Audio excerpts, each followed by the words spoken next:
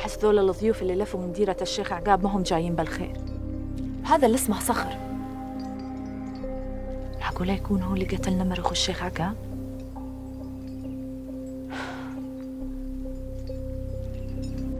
إيش فيك يا فجر؟ علامة لجمتي لا تقولين هو. لا. تطمني قلت لك ما هو اللي ببالي.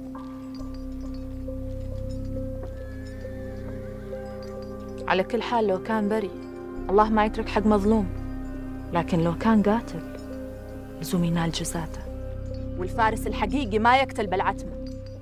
وانتي فجر فجر بنت الشيخ سلطان اللي تقفلها كل الفرسان.